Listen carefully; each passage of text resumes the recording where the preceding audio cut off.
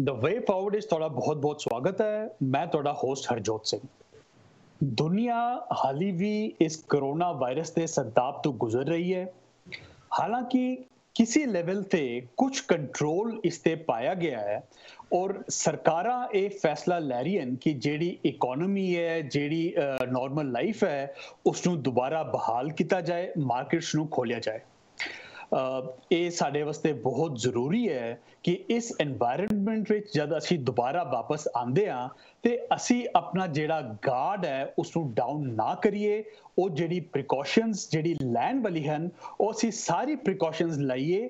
ਇਹ ਨਾ ਸੋਚੀਏ ਕਿ ਇਹ ਜਿਹੜੀ ਪ੍ਰੋਬਲਮ ਹੈ, ਇਹ ਖਤਮ ਹੋ ਗਈ ਹੈ ਇਸ ਦਾ ਜਿਹੜਾ ਡਰ ਹੈ, ਉਹ ਖਤਮ ਹੋ ਗਿਆ।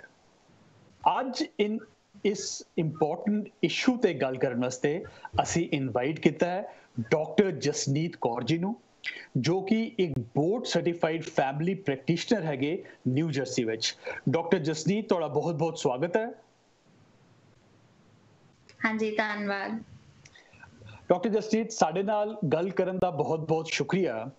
ਡਾਕਟਰ ਜਸਜੀਤ ਅਸੀਂ ਸਮਝਦੇ ਹਾਂ ਕਿ ਯੂ نو ਗਵਰਨਮੈਂਟ ਨੇ ਇਹ ਡਿਸਾਈਡ ਕੀਤਾ ਹੈ ਕਿ ਜਿਹੜੀ ਇਕਨੋਮੀ ਹੈ, ਜਿਹੜੀ ਮਾਰਕੀਟ ਹੈ, ਉਹ ਹਮੇਸ਼ਾ ਲਈ ਤੇ ਬੰਦ ਨਹੀਂ ਹੋ ਸਕਦੀ। ਤੇ ਆਲਦੋ ਕਰੋਨਾ ਵਾਇਰਸ ਦੀ ਜਿਹੜੀ ਪ੍ਰੋਬਲਮ ਹੈ, ਉਹ ਖਤਮ ਨਹੀਂ ਹੋਈ ਬਟ ਕਿਸੇ ਲੈਵਲ ਤੇ ਕੰਟਰੋਲ ਕੀਤੀ ਗਈ ਹੈ। ਜਿਸ ਨੂੰ ਉਹ ਬੈਂਡ ਦ ਕਰਵ ਕਹਿੰਦੇ ਸੀਗੇ, ਉਹ ਉਹ ਕੁਝ ਨੰਬਰਸ ਅਚੀਵ ਕੀਤੇ ਗਏ। ਤੁਸੀਂ ਸਾਨੂੰ ਦੱਸੋਗੇ ਕਿ ਇਹ ਕਰੋਨਾ ਦੀ ਜਿਹੜੀ ਸਿਚੁਏਸ਼ਨ ਹੈ ਇਸ ਵੇਲੇ ਕਿੱਥੇ ਖੜੀ ਹੈ ਔਰ ਕੀ ਡਿਫਰੈਂਸ ਹੈ ਪਹਿਲੇ ਦੀ ਸਿਚੁਏਸ਼ਨ ਤੋਂ ਜਿਸ ਵੇਲੇ ਇਹ ਸਭ ਕੁਝ ਬੰਦ ਕੀਤਾ ਗਿਆ ਸੀਗਾ? ਹਾਂਜੀ ਇਹ ਜਦੋਂ ਕਰੋਨਾ ਵਾਇਰਸ ਸ਼ੁਰੂ ਹੋਇਆ ਸੀ ਚਾਈਨਾ ਤੋਂ ਸ਼ੁਰੂ ਹੋਇਆ ਫਿਰ ਯੂਐਸ ਵਿੱਚ ਆਇਆ ਹੌਲੀ ਹੌਲੀ ਕਰਦੇ ਕਰਦੇ ਸਾਰੇ ਦੁਨੀਆ ਵਿੱਚ ਫੈਲਿਆ ਹੈ ਤੇ ਜੀ। ਸਾਰੀਆਂ ਸਰਕਾਰਾਂ ਨੇ ਵਾਰੀ-ਵਾਰੀ ਡਿਫਰੈਂਟ ਟਾਈਮਸ ਤੇ ਆਪਣੇ ਲੋਕਾਂ ਨੂੰ ਕਿਹਾ ਕਿ ਤੁਸੀਂ ਘਰ ਰਹੋ ਤੇ ਸਾਰਾ ਕੁਝ ਬੰਦ ਕੀਤਾ ਗਿਆ ਇਸ ਦੇ ਫੈਲਾਅ ਨੂੰ ਰੋਕਣ ਲਈ। ਤੇ ਹੁਣ ਸਿਚੁਏਸ਼ਨ ਇੱਥੇ ਹੈ ਕਿ ਬਹੁਤ ਸਾਰੀਆਂ ਜਗ੍ਹਾਵਾਂ ਤੇ ਫੈਲਾਅ ਨੂੰ ਰੋਕ, ਰੋਕਿਆ ਜਾਂ ਘਟਾ ਲਿਆ ਗਿਆ ਹੈ, ਜਿਸ ਨੂੰ, ਜਿੱਦਾਂ ਤੁਸੀਂ ਕਹਿ ਰਹੇ ਸੀ ਦ ਕਰਵ ਜਿਹੜੀ ਬੈਂਡ ਕਰਨੀ ਸੀ ਉਹ ਹੋ ਗਈ ਹੈ। ਤੇ ਇਹਦਾ ਇਹ ਮਤਲਬ ਨਹੀਂ ਹੈ ਕਿ ਕਰੋਨਾ ਵਾਇਰਸ ਖਤਮ ਹੋ ਗਿਆ ਹੈ ਜਾਂ ਇਹ ਬਿਮਾਰੀ ਹੁਣ ਦੁਨੀਆ ਵਿੱਚ ਨਹੀਂ ਰਹੀ। ਕਈ ਜਗ੍ਹਾਵਾਂ ਹੈ ਹੱਲੇ ਵੀ ਜਿੱਥੇ ਬਿਮਾਰੀ ਹੱਲੇ ਵੀ ਪੂਰੀ ਤਰ੍ਹਾਂ ਫੈਲ ਰਹੀ ਹੈ। ਲੇਕਿਨ ਕਈ ਜਗ੍ਹਾਵਾਂ ਤੇ ਇਸ ਨੂੰ ਕਾਫੀ ਹੱਦ ਤੱਕ ਕੰਟਰੋਲ ਕਰ ਲਿਆ ਗਿਆ ਹੈ ਅਤੇ ਜੇ ਸੇਫਲੀ ਹੌਲੀ-ਹੌਲੀ ਸਾਰਾ ਕੁਝ ਖੋਲਿਆ ਜਾਵੇ ਪ੍ਰੀਕਾਸ਼ਨਸ ਦੇ ਨਾਲ ਤਾਂ ਅਸੀਂ ਇਹਨੂੰ ਕੰਟਰੋਲ ਵਿੱਚ ਹੀ ਰੱਖ ਸਕਦੇ ਹਾਂ। ਡਾਕਟਰ ਸਾਹਿਬ, ਅਸੀਂ ਤੁਹਾਡੇ ਨਾਲ ਅੱਜ ਇਸ ਬਾਰੇ ਗੱਲ ਕਰਾਂਗੇ ਕਿ ਉਹ ਕੀ ਪ੍ਰੀਕਾਸ਼ਨਸ ਹਨ ਜੋ ਸਾਨੂੰ ਲੈਣੇ ਚਾਹੀਦੇ। ਸਭ ਤੋਂ ਪਹਿਲਾਂ ਤੁਸੀਂ ਸਾਨੂੰ ਇਹ ਇਹ ਥੋੜਾ ਜਿਹਾ ਬੈਕਗ੍ਰਾਉਂਡ ਦੱਸੋ ਕਿ ਇਹ ਜਿਹੜੇ ਵਾਇਰਸਸ ਹਨ, ਇਹ ਵਾਇਰਸਸ ਹਰ ਸਾਲ ਆਉਂਦੇ ਨੇ ਪਹਿਲੇ ਵੀ ਕੁਝ ਜ਼ਿਆਦਾ ਵੀ ਜਿਹੜੇ you know so called dangerous viruses let's say SARS ਆਇਆ ਮਰਜ਼ ਆਇਆ। ਬਟ ਅਸੀਂ ਕਦੇ ਵੀ ਇਹ ਸਿਚੁਏਸ਼ਨ ਨਹੀਂ ਦੇਖੀ ਜੋ ਅਸੀਂ ਕਰੋਨਾ ਦੀ ਸਿਚੁਏਸ਼ਨ ਵਿੱਚ ਦੇਖੀਏ ਜੋ ਇੱਕ ਕੋਵਿਡ 19 ਡਿਜ਼ੀਜ਼ ਆਪਾਂ ਵੇਖੀ ਤੇ 5 ਮਹੀਨਾ ਪਹਿਲਾਂ ਜਦ ਇਹ ਸ਼ੁਰੂ ਹੋਇਆ ਇਸ ਦੀ ਇੰਨੀ ਜਾਣਕਾਰੀ ਸਾਡੇ ਕੋਲ ਨਹੀਂ ਸੀ ਹੁਣ ਅਸੀਂ ਕੀ ਸਮਝਦੇ ਹਾਂ ਕਿਉਂ ਡਿਫਰੈਂਟ ਹੈਗਾ ਇਹ ਬਾਕੀ ਵਾਇਰਸਸ ਤੋਂ ਔਰ ਇਹ ਸਿਚੁਏਸ਼ਨ ਕਿਉਂ ਜ਼ਿਆਦਾ ਡਿਫਿਕਲਟ ਹੈਗੀ ਹੈ ਤਾਂ ਉਹਦੇ ਕਈ ਕਈ ਰੀਜ਼ਨਸ ਹੈਗੇ ਨੇ ਕਰੋਨਾ ਵਾਇਰਸ ਜਿਹੜਾ ਹੈ ਇਹ ਪਹਿਲੀ ਗੱਲ ਤਾਂ ਇਹ ਨਵੇਕਲਾ ਵਾਇਰਸ ਹੈ ਸਾਨੂੰ ਇਹਦੇ ਬਾਰੇ ਬਹੁਤ ਜ਼ਿਆਦਾ ਪਤਾ ਨਹੀਂ ਹੈ ਪਿਛਲੇ 5 ਮਹੀਨਿਆਂ ਚ ਅਸੀਂ ਇਹਦੇ ਬਾਰੇ ਬਹੁਤ ਕੁਝ ਪਤਾ ਲਗਾ ਲਿਆ ਹੈ ਪਰ ਹੱਲੇ ਵੀ ਪੂਰੀ ਜਾਣਕਾਰੀ ਨਹੀਂ ਹੈ। ਹਰ ਰੋਜ਼ ਨਵੀਂ ਜਾਣਕਾਰੀ ਪਤਾ ਚੱਲ ਰਹੀ ਹੈ ਵੀ ਸਰਫੇਸਿਸ ਤੋਂ ਫੈਲਦਾ ਹੈ ਕਿ ਨਹੀਂ ਕਿਸ ਤਰ੍ਹਾਂ ਫੈਲਦਾ ਹੈ। ਇੱਕ ਚੀਜ਼ ਜੋ ਸਾਨੂੰ ਪਤਾ ਹੈ ਕਿ ਰੈਸਪੀਰੇਟਰੀ ਡ੍ਰੌਪਲੇਟਸ ਜਿੱਦਾਂ ਕਿ ਕਿਸੇ ਨੇ ਖੰਗ ਕੀਤੀ ਜਾਂ ਨਿੱਛ ਮਾਰੀ ਤਾਂ ਉਹਦੇ ਚੋਂ ਜਿਹੜੇ ਡ੍ਰੌਪਲੇਟਸ ਨਿਕਲਦੇ ਨੇ ਉਹਨਾਂ ਤੋਂ ਜ਼ਰੂਰ ਫੈਲਦਾ ਹੈ। ਜੀ। ਇਸੇ ਕਰਕੇ ਜੋ ਮੈਜਰਸ ਪ੍ਰੀਕਾਸ਼ਨਰੀ ਮੈਜਰਸ ਕਹੇ ਜਾਂਦੇ ਆ ਵੀ ਇੱਕ ਦੂਜੇ ਤੋਂ ਦੂਰੀ ਬਣਾ ਕੇ ਰੱਖੋ। ਉਹ ਜ਼ਰੂਰੀ ਹੈ। ਤੇ ਇਹ ਇਸ ਲਈ ਵੀ ਡਿਫਰੈਂਟ ਹੈ ਕਿ ਇਹਦਾ ਜਿਹੜਾ ਇਨਕਿਊਬੇਸ਼ਨ ਪੀਰੀਅਡ ਕਹਿੰਦੇ ਆ ਜਾ ਕੇ ਜਿੰਨਾ ਟਾਈਮ ਜਦੋਂ ਤੁਸੀਂ ਤੁਹਾਨੂੰ ਕੋਈ ਐਕਸਪੋਜ਼ਰ ਹੋਇਆ ਵਾਇਰਸ ਤੋਂ ਤੇ ਉਸ ਤੋਂ ਬਾਅਦ ਜਦੋਂ ਤੁਸੀਂ ਸਿੰਪਟਮ ਦਿਖਾਉਂਦੀ ਹੈ ਤੁਹਾਡੀ ਬਾਡੀ ਜੀ। ਉਸ ਵਿੱਚ ਕਮ ਸੇ ਕਮ 10 ਤੋਂ 14 ਦਿਨ ਲੱਗਦੇ ਨੇ। ਜੀ। ਜਿਹਦਾ ਮਤਲਬ ਹੈ ਕਿ ਉਹਨਾਂ 10 ਤੋਂ 14 ਦਿਨਾਂ 'ਚ ਤੁਸੀਂ ਹੋ ਸਕਦਾ ਤੁਹਾਨੂੰ ਕੋਈ ਸਿੰਪਟਮ ਨਹੀਂ ਹੈ ਲੇਕਿਨ ਤੁਸੀਂ ਜਿੱਥੇ ਵੀ ਜਾ ਰਹੇ ਹੋ ਤੁਸੀਂ ਇਹ ਬਿਮਾਰੀ ਫੈਲਾ ਰਹੇ ਹੋ। ਜੀ। ਜਿਹੜਾ ਇਨਕਿਊਬੇਸ਼ਨ ਪੀਰੀਅਡ ਹੈ ਉਸ ਦੇ ਵਿੱਚ ਅਸੀਂ ਟ੍ਰਾਂਸਮਿਟ ਕਰ ਸਕਦੇ ਹਾਂ। ਬੇਸ਼ੱਕ ਸਿੰਪਟਮਸ ਨਜ਼ਰ ਨਾ ਆ ਰਹੇ ਹੋਣ ਫਿਰ ਵੀ ਟ੍ਰਾਂਸਮਿਟ ਕਰ ਸਕਦੇ ਹਾਂ। ਹਾਂਜੀ। ਤੇ ਜਿਹੜੇ ਆਮ ਸੌਰੀ ਜੇ ਬਾਕੀ ਵਾਇਰਸਸ ਹੁੰਦੇ ਨੇ ਉਹਨਾਂ ਵਿੱਚ ਇਹ ਨਹੀਂ ਹੁੰਦਾ? ਵਾਇਰਸਸ ਦੇ ਡਿਫਰੈਂਟ ਪੀਰੀਅਡ ਹੁੰਦੇ ਆ ਕਿਸੇ ਦਾ 2 ਦਿਨ 3 ਦਿਨ ਐਦਾਂ ਕਰਕੇ ਹੁੰਦੇ ਨੇ। ਬਹੁਤ ਘੱਟ ਇਹੋ ਜਿਹੇ ਨੇ ਜਿਨ੍ਹਾਂ ਦਾ 2 ਹਫ਼ਤੇ ਦਾ ਇਨਕਿਊਬੇਸ਼ਨ ਪੀਰੀਅਡ ਇਹ ਔਰ ਇਹੋ ਜੀ ਬਿਮਾਰੀ ਜੋ ਕਿ ਰੈਸਪੀਰੇਟਰੀ ਡ੍ਰੌਪਲੇਟਸ ਨਾਲ ਫੈਲਦੀ ਹੈ। ਜੀ। ਇਹ ਇਹਦੀ ਯੂਨੀਕਨੈਸ ਹੈਗੀ ਹੈ ਜੀ ਜੀ ਜੀ ਤੇ ਡਾਕਟਰ ਸਾਹਿਬ ਅਗਰ ਅਸੀਂ ਯੂ نو ਅਸੀਂ ਇਸ 올 ਥਰੂ ਇਸ ਬਿਮਾਰੀ ਉੱਪਰ ਪ੍ਰੋਗਰਾਮ ਕਰਦੇ ਰਹੇ ਹਾਂ ਅਸੀਂ ਆਪਣੇ ਵਿਊਜ਼ ਨੂੰ ਦੱਸਦੇ ਰਹੇ ਹਾਂ ਕਿ ਕਿਵੇਂ ਇਹ ਫੈਲਦੀ ਹੈ ਐਂਡ ਡਿਫਰੈਂਟ ਟਾਈਮਸ ਤੇ ਜਦੋਂ ਅਸੀਂ ਸਟਾਰਟ ਕੀਤਾ ਸੀਗਾ ਤਾਂ ਸੀਡੀਸੀ ਦੀ ਐਸੀ ਰეკਮੈਂਡੇਸ਼ਨ ਨਹੀਂ ਸੀ ਕਿ ਹਰ ਵੇਲੇ ਤੁਸੀਂ ਮਾਸਕ ਪਾ ਕੇ ਰੱਖੋ ਰਾਈਟ ਉਹ ਸਿਰਫ ਸਾਡੀ ਅੰਡਰਸਟੈਂਡਿੰਗ ਇਹ ਸੀ ਕਿ ਜਿਹੜੇ ਡ੍ਰੌਪਲੇਟਸ ਹੈਗੇ ਅਗਰ ਤੁਸੀਂ ਉਹਨਾਂ ਦੇ ਕੰਟੈਕਟ ਵਿੱਚ ਆਂਦੇ ਹੋ ਐਂਡ ਦ ਅੰਡਰਸਟੈਂਡਿੰਗ ਵਾਸ ਕਿ ਇੱਕ ਤੇ ਬੜੇ ਕਲੋਜ਼ ਕਲੋਜ਼ ਹੋਣ ਨਾਲ ਡ੍ਰੌਪਲੇਟ ਐਕਸਚੇਂਜ ਹੋ ਸਕਦੇ ਨੇ ਜਾਂ ਜਿਹੜੇ ਡ੍ਰੌਪਲੇਟਸ ਹਨ ਉਹ ਕਿਸੇ ਸਰਫੇਸ ਉੱਪਰ ਦੇ could survive for 8 to 10 hours ਇਹ ਜਿਹੜੀ ਮਾਸਕ ਦੀ ਰਿਕੁਆਇਰਮੈਂਟ ਹੁਣ ਸੀਡੀਸੀ ਬਹੁਤ ਜ਼ਿਆਦਾ ਸਟਰੋਂਗਲੀ ਸੁਜੈਸਟ ਕਰਦੀ ਹੈ ਇਸ ਇਸ ਇਸ ਦਾ ਕੀ ਬੈਕਗ੍ਰਾਉਂਡ ਹੈ? ਇਸ ਦੀ ਕੀ ਵਜ੍ਹਾ ਹੈ? ਸੋ ਮਾਸਕ ਪਾਣਾ ਇਸ ਲਈ ਜ਼ਰੂਰੀ ਹੈ ਪਹਿਲੀ ਗੱਲ ਤਾਂ ਜੇ ਲੈਟਸ ਸੇ ਤੁਸੀਂ ਵਾਇਰਸ ਨੇ ਤੁਹਾਡੀ ਬਾਡੀ ਵਿੱਚ ਕਾਰ ਕੀਤਾ ਹੈ ਚਾਹੇ ਤੁਹਾਨੂੰ ਹਲੇ ਸਿੰਪਟਮ ਹਨ ਚਾਹੇ ਨਹੀਂ ਤਾਂ ਤੁਹਾਡੇ ਜੋ ਵੀ ਉਹ ਰੈਸਪੀਰੇਟਰੀ ਡ੍ਰੌਪਲੇਟਸ ਹੋਣਗੇ ਤੁਸੀਂ ਖਾਂਸੀ ਕਰੋਗੇ ਨੀਚ ਮਾਰੋਗੇ ਉਹਦੇ ਵਿੱਚ ਵਾਇਰਸ ਪਾਰਟੀਕਲਸ ਹੋਣਗੇ। ਜੀ। ਤਾਂ ਉਹਦੇ ਥਰੂ ਉਹ ਟ੍ਰਾਂਸਮਿਟ ਹੋ ਸਕਦਾ ਹੈ। ਜਿਹੜਾ ਮਾਸਕ ਹੈ ਉਹ ਉਹਨਾਂ ਵਾਇਰਸ ਪਾਰਟੀਕਲਸ ਨੂੰ ਬਲੌਕ ਕਰ ਸਕਦਾ ਹੈ ਤੇ ਉਹਦੇ ਨਾਲ ਉਹ ਟ੍ਰਾਂਸਮਿਸ਼ਨ ਘਟਾ ਸਕਦਾ ਹੈ। ਕਿੰਨੀ ਦੂਰ ਤੱਕ ਉਹ ਪਾਰਟੀਕਲਸ ਜਾਣਗੇ ਉਹ ਘਟ ਜਾਏਗਾ। ਜੀ। ਹੈਨਾ? ਤੇ ਦੂਸਰਾ ਹੈ ਵੀ ਜੇ ਤੁਸੀਂ ਬਿਮਾਰ ਨਹੀਂ ਵੀ ਹੈਗੇ ਕਿਉਂਕਿ ਅਸੀਂ ਗੱਲ ਕੀਤੀ ਕਿ ਬਹੁਤ ਦੇਰ 10 ਤੋਂ 14 ਦਿਨ ਤੱਕ ਤੁਹਾਨੂੰ ਸਿੰਪਟਮ ਸ਼ਾਇਦ ਨਹੀਂ ਵੀ ਹੋਵੇ ਤਾਂ ਤੁਸੀਂ ਇਹ ਟ੍ਰਾਂਸਮਿਟ ਕਰ ਸਕਦੇ ਹੋ। ਤਾਂ ਉਹਦੇ ਕਰਕੇ ਵੀ ਮਾਸਕ ਪਾਣਾ ਜ਼ਰੂਰੀ ਹੈ। ਹਰ ਹਰ ਕਿਸੇ ਨੂੰ ਕਿਉਂਕਿ ਤੁਹਾਨੂੰ ਪਤਾ ਹੀ ਨਹੀਂ ਹੋਏਗਾ ਹੱਲੇ ਵੀ ਤੁਸੀਂ ਟ੍ਰਾਂਸਮਿਟ ਕਰ ਰਹੇ ਹੋ ਵਾਇਰਸ ਤੇ ਡਾਕਟਰ ਸਾਹਿਬ ਇਸ ਦਾ ਮਤਲਬ ਇਹ ਮਾਸਕ ਪਾ ਕੇ ਅਸੀਂ ਦੂਸਰਿਆਂ ਨੂੰ ਪ੍ਰੋਟੈਕਟ ਕਰ ਰਹੇ ਹਾਂ। ਆਪਣੀ ਜਿਹੜੀ ਪ੍ਰੋਟੈਕਸ਼ਨ ਹੈ ਉਸ ਵਾਸਤੇ ਨੈਸੈਸਰੀਲੀ ਇਹ ਇਨਾ ਜ਼ਰੂਰੀ ਨਹੀਂ ਹੈ। Is that right it's kind of right ਕਿਉਂਕਿ ਆਪਣੀ ਡਾਇਰੈਕਟ ਪ੍ਰੋਟੈਕਸ਼ਨ ਨਹੀਂ ਬਟ ਇਨਡਾਇਰੈਕਟ ਇਸ ਤਰ੍ਹਾਂ ਹੈ ਵੀ ਅਗਰ ਇਸ ਬਿਮਾਰੀ ਦਾ ਫੈਲਾਅ ਘਟੇਗਾ ਤਾਂ ਉਹ ਸਾਡੇ ਸਾਰਿਆਂ ਦੀ ਪ੍ਰੋਟੈਕਸ਼ਨ ਹੈ ਜੀ ਦੂਜੀ ਗੱਲ ਇਹ ਹੈ ਕਿ ਜੇ ਤੁਸੀਂ ਬਿਮਾਰ ਨਹੀਂ ਹੋ ਸੋ ਫॉर ਐਗਜ਼ਾਮਪਲ ਤੁਸੀਂ ਚਾਰ ਬੰਦਿਆਂ ਦੇ ਘਰ ਵਿੱਚ ਰਹਿੰਦੇ ਹੋ ਜਿਹਦੇ ਚੋਂ ਇੱਕ ਬਜ਼ੁਰਗ ਹੈ ਤੁਹਾਡੇ ਪੇਰੈਂਟਸ ਤੁਹਾਡੇ ਨਾਲ ਰਹਿੰਦੇ ਹੋਣ 65 ਸਾਲ ਦੀ ਉੱਪਰ ਉਮਰ ਤੋਂ ਹੋਣ ਦੇ are in what we call high risk population ਜੀ ਹੈ ਨਾ ਤੇ ਉਹਨਾਂ ਨੂੰ ਤਾਂ ਤੁਸੀਂ ਘਰ ਬਿਠਾਓਗੇ ਵੀ ਠੀਕ ਹੈ ਤੁਸੀਂ ਕਿਸੇ ਨੂੰ ਨਾ ਮਿਲੋ ਕਿਤੇ ਨਾ ਜਾਓ ਮੈਂ ਗਰੋਸਰੀ ਘਰ ਆਣਾ ਜੀ। ਪਰ ਹੁਣ ਜਦੋਂ ਤੁਸੀਂ ਜਾਓਗੇ ਜੇ ਤੁਸੀਂ ਬਿਮਾਰ ਹੋ ਜਾਂਦੇ ਹੋ ਤਾਂ ਤੁਸੀਂ ਉਹ ਬਿਮਾਰੀ ਘਰ ਵੀ ਲਿਆਓਗੇ। ਜੀ। ਸੋ ਆਪਣਾ ਨੱਕ ਤੇ ਮੂੰਹ ਕਵਰ ਕਰਨ ਨਾਲ ਮਾਸਕ ਪਾਣ ਨਾਲ ਤੁਸੀਂ ਉਸ ਚੀਜ਼ ਦਾ ਰਿਸਕ ਵੀ ਘਟਾਉਂਦੇ ਹੋ। ਜੇ ਕੋਈ ਹੋਰ ਬੰਦਾ ਤੁਹਾਡੇ ਨੇੜੇ ਆ ਜਾਂਦਾ ਹੈ ਗਲਤੀ ਨਾਲ ਜਾਂ ਕੋਈ ਖਾਂਸੀ ਜਾਂ ਨੀਚ ਦੇ ਪਾਰਟੀਕਲਸ ਤੁਹਾਡੇ ਉੱਪਰ ਆ ਜਾਂਦੇ ਨੇ ਤਾਂ ਲੈਸ ਲਾਈਕਲੀ ਕਿ ਉਹ ਤੁਹਾਡੇ ਮਿਊਕਸ ਮੈਂਬਰੇਨਸ ਵਿੱਚ ਨੱਕ ਅੱਖਾਂ ਮੂੰਹ ਵਿੱਚ ਜਾਣਗੇ। ਮਾਸਕ ਪਾਣ ਨਾਲ ਜਿਹਦੇ ਨਾਲ ਤੁਹਾਡਾ ਰਿਸਕ ਵੀ ਘਟੇਗਾ। ਸੋ ਤੁਸੀਂ ਆਪਣੀ ਫੈਮਿਲੀ ਨੂੰ ਆਪਣੇ ਆਪ ਨੂੰ ਉਦਾਂ ਪ੍ਰੋਟੈਕਟ ਕਰ ਰਹੇ ਹੋ। ਡਾਕਟਰ ਸਾਹਿਬ ਕਿਆ ਤੁਸੀਂ ਰეკਮੈਂਡ ਕਰ ਰਹੇ ਹੋ ਕਿ ਅਗਰ ਤੁਹਾਡੇ ਘਰ ਬਜ਼ੁਰਗ ਹਨ ਤੇ ਘਰ ਵਿੱਚ ਵੀ ਤੁਸੀਂ ਮਾਸਕ ਪਾ ਕੇ ਬੈਠੋ? ਘਰ ਵਿੱਚ ਮਾਸਕ ਪਾ ਕੇ ਨਹੀਂ ਬੈਠਣਾ ਬਿਕਾਜ਼ um ਜ਼ਰੂਰੀ ਅਨਲੈਸ ਤੁਸੀਂ ਸਿੰਪਟਮ ਸ਼ੋ ਕਰ ਰਹੇ ਹੋ ਜੀ ਜੀ ਜੀ ਜੀ ਡਾਕਟਰ ਸਾਹਿਬ ਇਹ ਮਾਸਕਸ ਦੀ ਵੀ ਬੜੀ ਕਨਫਿਊਜ਼ਨ ਹੈਗੀ ਹੈ ਕਿਆ ਸਾਰੇ ਜਿਹੜੇ ਮਾਸਕਸ ਹਨ ਉਹ ਇਕੁਅਲੀ ਕੰਮ ਕਰਦੇ ਨੇ ਇਸ ਇਸ ਸਿਚੁਏਸ਼ਨ ਵਿੱਚ देयर इज अ डिफरेंस ਹਰ ਤਰ੍ਹਾਂ ਦੇ ਮਾਸਕ ਦਾ ਅਲੱਗ-ਅਲੱਗ ਡਿਫਰੈਂਸ ਹੈ ਲੇਕਿਨ ਅਲੱਗ ਪਰਪਸ ਵੀ ਹੈ ਜੀ ਇਹ ਟਰੂ ਹੈ ਕਿ ਜਿਹੜੇ ਸਰਜੀਕਲ ਮਾਸਕ ਨੇ ਜਾਂ N95 ਮਾਸਕ ਦਾ ਨਾਮ ਨਿਊਜ਼ ਵਿੱਚ ਆਂਦਾ ਹੈ ਜਿਹਨੂੰ ਪ੍ਰੋਟੈਕਟਿਵ ਇਕਵਿਪਮੈਂਟ ਕਰਕੇ ਕਹਿੰਦੇ ਨੇ ਉਹ ਡਾਕਟਰ ਆਫਿਸਿਸ ਵਿੱਚ ਹਸਪਤਾਲਾਂ ਵਿੱਚ ਜ਼ਰੂਰੀ ਹਨ ਕਿਉਂਕਿ ਉੱਥੇ ਜ਼ਿਆਦਾਤਰ ਬਿਮਾਰ ਮਰੀਜ਼ ਆਉਂਦੇ ਨੇ ਉਹਨਾਂ ਦਾ ਵਾਹ ਜ਼ਿਆਦਾਤਰ ਉਹਨਾਂ ਲੋਕਾਂ ਨਾਲ ਹੀ ਪੈਂਦਾ ਜਿਹੜੇ ਮੋਸਟ ਲਾਈਕਲੀ ਐਕਟਿਵਲੀ ਸਿੰਪਟਮਸ ਦਿਖਾ ਰਹੇ ਹੋਣਗੇ। ਜੀ। ਜਾਂ ਕਰੋਨਾ ਵਾਇਰਸ ਦੇ ਜਾਂ ਮੇਬੀ ਕਿਸੇ ਹੋਰ ਡਿਜ਼ੀਜ਼ ਦੇ। ਸੋ ਉਹਨਾਂ ਲਈ ਜ਼ਿਆਦਾ ਪ੍ਰੋਟੈਕਸ਼ਨ ਡੈਫੀਨਿਟਲੀ ਜ਼ਰੂਰੀ ਹੈ ਉਹ ਮਾਸਕ ਜ਼ਿਆਦਾ ਇਫੈਕਟਿਵ ਹੈਗੇ ਨੇ। ਡਾਕਟਰ ਸਾਹਿਬ ਡਾਕਟਰ ਸਾਹਿਬ ਅਸੀਂ ਇੱਥੇ ਇੱਕ ਛੋਟੀ ਜਿਹੀ ਬ੍ਰੇਕ ਲਾਂਗੇ। ਮਾਸਕਸ ਦੇ ਬਾਰੇ ਵਿੱਚ ਤੁਹਾਡੇ ਨਾਲ ਗੱਲ ਜਾਰੀ ਰੱਖਾਂਗੇ ਇੱਕ ਛੋਟੀ ਜਿਹੀ ਬ੍ਰੇਕ ਦੇ ਬਾਅਦ। ਤੁਸੀਂ ਵੇਖਦੇ ਰਹੋ ਦ ਵੇ ਫਾਰਵਰਡ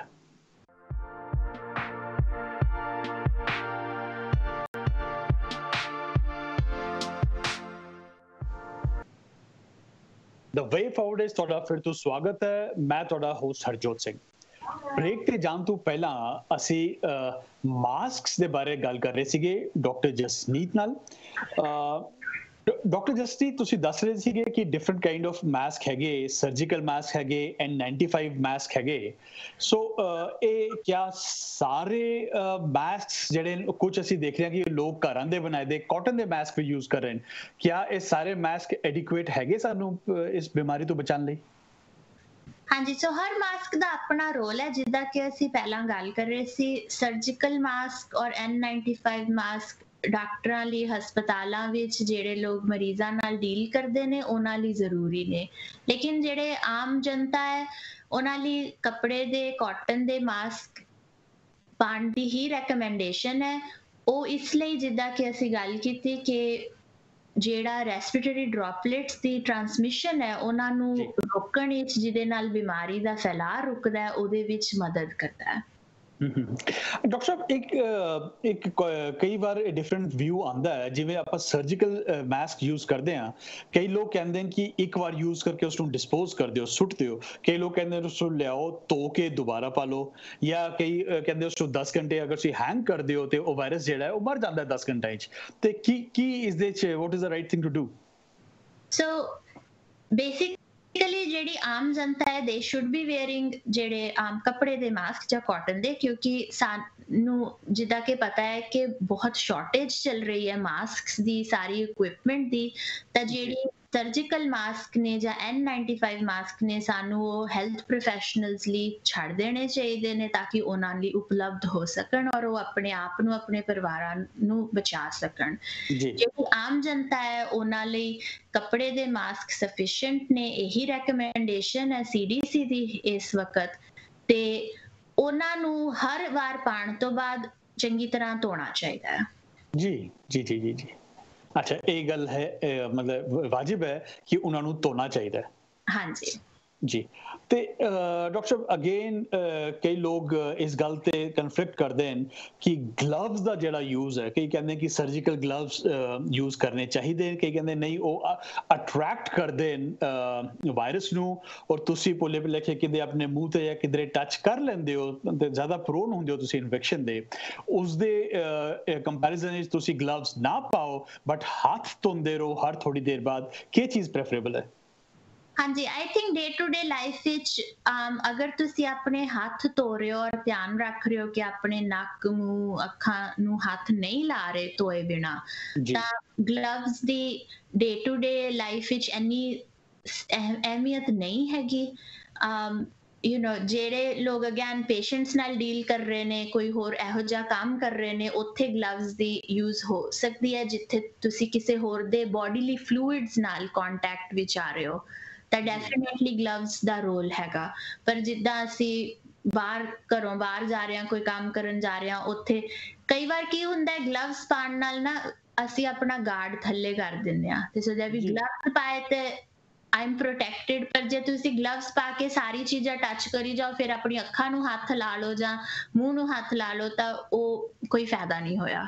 ਜੀ ਜੀ ਜੀ ਜੀ। ਇਸ ਲਈ ਇਹ ਧਿਆਨ ਰੱਖਣਾ ਕਿ ਤੁਹਾਡੇ ਹੱਥ ਸਾਫ਼ ਰਹਿਣ ਤੇ ਜੇ ਤੁਹਾਡੇ ਹੱਥ ਬਾਕੀ ਚੀਜ਼ਾਂ ਨੂੰ ਟੱਚ ਕਰ ਰਹੇ ਨੇ ਤਾਂ ਤੁਸੀਂ ਉਹ ਆਪਣੇ ਫੇਸ ਨਾਲ ਮੂੰਹ ਨਾਲ ਨਹੀਂ ਲਗਾ ਰਹੇ ਉਹ ਜ਼ਿਆਦਾ ਜ਼ਰੂਰੀ ਹੈ। ਬਟ ਡਾਕਟਰ ਜਿਵੇਂ ਹੁਣ ਆਪਾਂ ਦੇਖ ਰਹੇ ਹਾਂ ਕਿ ਸਾਰੇ ਆਫਿਸਿਸ ਵਗੈਰਾ ਦੁਬਾਰਾ ਖੁੱਲ ਰਹੇ ਨੇ ਔਰ ਅਸੀਂ ਜਦ ਆਫਿਸਿਸ ਜਾਂਦੇ ਆ ਅਸੀਂ ਐਲੀਵੇਟਰਸ ਵਿੱਚ ਜਾਂਦੇ ਆ ਉਨ ਬਟਨਸ ਜੋ ਦਬਾਉਂਦੇ ਆ ਡੋਰ ਨੌਬਸ ਖੋਲਦੇ ਆ ਤੇ ਉਸ ਦੇ ਵਿੱਚ ਜਿਹੜੀ ਗਲਵਸ ਦੀ ਪ੍ਰੋਟੈਕਸ਼ਨ ਹੈ ਉਹ ਉਹ ਜ਼ਿਆਦਾ ਨਹੀਂ ਹੈ ਕੰਪਲੀਟ ਅਸੀਂ ਹਰ ਵੇਲੇ ਤੇ ਹੱਥ ਨਹੀਂ ਧੋ ਸਕਦੇ। ਸੋ ਉੱਥੇ ਵੀ ਡਿਪੈਂਡ ਕਰੇਗਾ ਜੇ ਤੁਸੀਂ ਉਹੀ ਗਲਵਸ ਪਾ ਕੇ ਪਹਿਲੇ ਐਲੀਵੇਟਰ ਦਾ ਬਟਨ ਦਬਾਇਆ ਫਿਰ ਆਪਣੀ ਜੇਬ 'ਚੋਂ ਫੋਨ ਕੱਢ ਕੇ ਦੇਖ ਲਿਆ ਫਿਰ ਉਹਨੂੰ ਵਾਪਸ ਪਾ ਲਿਆ ਫਿਰ ਕਿਸੇ ਹੋਰ ਚੀਜ਼ ਨੂੰ ਹੱਥ ਲਾ ਲਿਆ ਉਸੇ ਗਲਵ ਦੇ ਨਾਲ ਜੀ। ਤਾਂ ਉਹ ਪਰਪਸ ਡਿਫੀਟ ਹੋ ਗਿਆ ਗਲਵ ਪਾਣ ਦਾ। ਜਾਂ ਤਾਂ ਤੁਸੀਂ ਐਲੀਵੇਟਰ ਦਾ ਬਟਨ ਦਬਾਓ ਤੇ ਫਿਰ ਉਹ ਗਲਵਡ ਹੈਂਡਸ ਨੂੰ ਐਦਾਂ ਹੀ ਰੱਖੋ ਕਿਸੇ ਹੋਰ ਚੀਜ਼ ਨੂੰ ਟੱਚ ਨਾ ਕਰੋ ਜਦੋਂ ਤੱਕ ਤੁਸੀਂ ਠੀਕ ਤਰ੍ਹਾਂ ਗਲਵ ਉਤਾਰ ਕੇ ਹੱਥ ਨਾ ਧੋ ਸਕੋ। ਜੀ ਜੀ ਜੀ ਜੀ ਦੂਜਾ ਤਰੀਕਾ ਹੈ ਤੁਸੀਂ ਆਪਣੇ ਨਾਲ ਟਿਸ਼ੂ ਪੇਪਰ ਰੱਖ ਲਓ ਤੁਸੀਂ ਟਿਸ਼ੂ ਪੇਪਰ ਨਾਲ ਐਲੀਵੇਟਰ ਦਾ ਬਟਨ ਦਬਾਓ ਤੇ ਉਹਨੂੰ ਸੁੱਟ ਦਿਓ ਉਸੇ ਵੇਲੇ। ਜੀ ਜੀ ਜੀ ਉਸ ਉਸ ਟਿਸ਼ੂ ਪੇਪਰ ਨੂੰ ਦੁਬਾਰਾ ਜੇਬ ਵਿੱਚ ਨਾ ਪਾਇਆ ਜਾਏ। ਦੁਬਾਰਾ ਯੂਜ਼ ਲਈ ਉਸ ਨੂੰ ਸੁੱਟ ਦਿੱਤਾ ਜਾਏ। ਤੇ ਤੇ ਡਾਕਟਰ ਸਾਹਿਬ ਸੈਨੀਟਾਈਜ਼ਰ ਦੇ ਯੂਜ਼ ਦੇ ਬਾਰੇ ਕੀ ਕਹੋਗੇ ਤੁਸੀਂ? ਸੋ ਸੈਨੀਟਾਈਜ਼ਰ ਜ਼ਰੂਰਤਮੰਦ ਸਾਬਿਤ ਹੋ ਸਕਦਾ ਹੈ ਪਰ ਉਹਨਾਂ ਟਾਈਮਸ ਤੇ ਜਦੋਂ ਕਿ ਤੁਸੀਂ ਆਪਣੇ ਹੱਥ ਪਾਣੀ ਤੇ ਸਾਬਣ ਨਾਲ ਨਾ ਧੋ ਪਾਵੋ।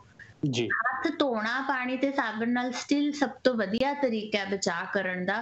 ਪਰ ਕਈ ਥਾਵਾਂ ਤੇ ਜਾਂ ਕਈ ਟਾਈਮਸ ਤੇ ਉਹ ਉਪਲਬਧ ਨਹੀਂ ਹੋ ਸਕਦਾ ਤਾਂ ਉਸ ਸਮੇਂ ਤੇ ਹੈਂਡ ਸੈਨੀਟਾਈਜ਼ਰ ਜਿਹਦੇ ਚ ਕਮ ਸੇ ਕਮ 60% ਐਲਕੋਹਲ ਹੋਏ ਉਹ ਯੂਜ਼ ਕੀਤਾ ਜਾ ਸਕਦਾ ਹੈ। ਜੀ। ਡਾਕਟਰ ਸਾਹਿਬ ਅਸੀਂ ਦੇਖਿਆ ਕਈ ਲੋਕ ਗਲਵਸ ਪਾਉਂਦੇ ਹਨ ਔਰ ਹਰ ਥੋੜੀ ਦੇਰ ਦੇ ਬਾਅਦ ਸੈਨੀਟਾਈਜ਼ਰ ਨਾਲ ਉਹ ਗਲਵਸ ਆਪਣੇ ਸਾਫ਼ ਕਰ ਰਹੇ ਹੁੰਦੇ ਨੇ ਇਜ਼ ਦੈਟ ਇਫੈਕਟਿਵ ਉਹ ਕੰਮ ਕਰਦਾ ਹੈ?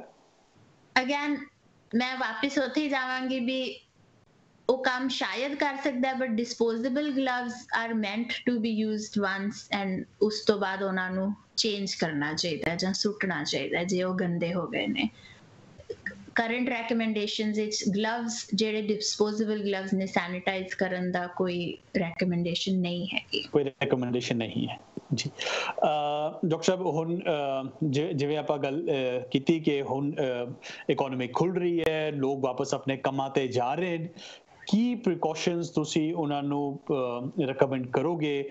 What are the things that they should be carrying when they leave their houses? ਔਰ ਕੀ ਕੀ ਪ੍ਰੀਕਾਸ਼ਨਸ ਉਹਨਾਂ ਨੂੰ ਲੈਣੇ ਚਾਹੀਦੇ?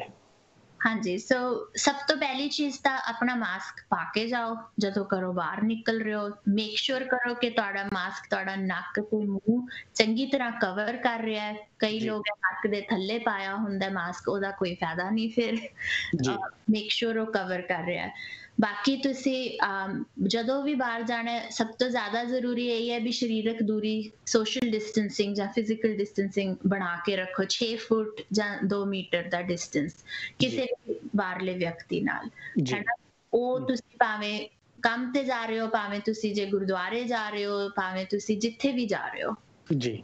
ਆਪਣੇ ਹੱਥ ਧੋਂਦੇ ਰਹੋ ਜਿੰਨੀ ਜ਼ਿਆਦਾ ਵਾਰ ਹੋ ਸਕੇ ਆਪਣੇ ਹੱਥ ਧੋਂਦੇ ਰਹੋ। ਜਦੋਂ ਤੁਸੀਂ ਕਿਸੇ ਸਰਫੇਸ ਨੂੰ ਟੱਚ ਕੀਤਾ, ਉਸ ਤੋਂ ਬਾਅਦ ਆਪਣੇ ਹੱਥ ਸਾਬਣ ਤੇ ਪਾਣੀ ਨਾਲ ਧੋਵੋ। ਇਹ ਜ਼ਰੂਰ ਰੱਖੋ ਕਿ ਗੰਦੇ ਹੱਥਾਂ ਨਾਲ ਆਪਣਾ ਨੱਕ, ਮੂੰਹ, ਅੱਖਾਂ ਨੂੰ ਹੱਥ ਨਾ ਲਾਓ, ਕਿਉਂਕਿ ਮਿਊਕਸ ਮੈਂਬਰੇਨਸ ਦੇ ਥਰੂ ਵਾਇਰਸ ਜ਼ਿਆਦਾ ਫੈਲਦਾ ਹੈ। ਤੇ, ਅਮ, ਜਦੋਂ ਵੀ ਤੁਸੀਂ ਜੇ ਖਾਂਸੀ ਕਰਨੀ ਹੈ ਜਾਂ ਨਿੱਛ ਮਾਰਨੀ ਹੈ ਟਿਸ਼ੂ ਪੇਪਰ ਦਾ ਇਸਤੇਮਾਲ ਕਰੋ। ਨਾਲ ਦੀ ਨਾਲ ਉਸ ਟਿਸ਼ੂ ਪੇਪਰ ਨੂੰ ਕੂੜੇ 'ਚ ਸੁੱਟੋ ਤੇ ਫਿਰ ਆਪਣੇ ਹੱਥ ਜਾ ਕੇ ਪਾਣੀ ਤੇ ਸਾਬਣ ਨਾਲ ਧੋਵੋ। ਬਾਰ-ਬਾਰ ਉਹ ਟਿਸ਼ੂ ਨੂੰ ਜੇਬ ਵਿੱਚ ਵੀ ਨਾ ਪਾਓ, ਉਹ ਗੰਦੇ ਹੱਥਾਂ ਨੂੰ ਇੱਥੇ ਉੱਥੇ ਨਾ ਲਗਾਓ। ਜੀ ਜੀ ਜੀ ਜੀ। ਡਾਕਟਰ ਸਾਹਿਬ, ਇੱਕ ਅਗੇਨ ਥੋੜੀ ਕਲੈਰਿਟੀ ਇਸ ਤੇ ਘੱਟ ਹੈ। ਜਦ ਆਪਾਂ ਬਾਰੂ ਘਰ ਆਂਦੇ ਆ ਤੇ ਉਹ ਜਿਹੜੇ ਕੱਪੜੇ ਪਾਏ ਨੇ do they need to be you know washed right away ਉਹਨਾਂ ਨੂੰ ਆਪਾਂ ਬਾਹਰ ਹੀ ਕਿਧਰੇ ਉਤਾਰ ਕੇ ਘਰ ਦੇ ਅੰਦਰ ਐਂਟਰ ਕਰੀਏ, ਕਿਵੇਂ? What do you recommend so again ਬਹੁਤ ਜ਼ਿਆਦਾ ਨੌਲੇਜ ਸਾਡੇ ਕੋਲ ਨਹੀਂ ਹੈ ਵੀ ਕਿਹੜੇ ਸਰਫੇਸ ਤੇ ਕਿੰਨੀ ਦੇਰ ਵਾਇਰਸ ਰਹਿੰਦਾ ਹੈ। ਕੀ ਹੋ ਸਕਦਾ ਹੈ ਕਿ ਕੱਪੜਿਆਂ ਤੇ ਵਾਇਰਸ ਹੋਏਗਾ? ਡੈਫੀਨਿਟਲੀ ਇਹ ਹੋ ਸਕਦਾ ਹੈ। ਬਹੁਤ ਸਾਰੇ ਲੋਕ ਨੇ ਜਿਹੜੇ ਐਦਾਂ ਕਰਨਗੇ, ਜਿੱਦਾਂ ਅਗਰ ਤੁਸੀਂ ਬਦਲ ਸਕਦੇ ਹੋ ਆਉਣ ਤੋਂ ਪਹਿਲੇ ਇਮੀਡੀਏਟਲੀ ਕੱਪੜੇ ਤਾਂ ਦੇ ਉਹਦੇ ਨਾਲ ਫਾਇਦਾ ਹੀ ਹੋਏਗਾ ਨੁਕਸਾਨ ਕੋਈ ਨਹੀਂ ਹੋਊਗਾ।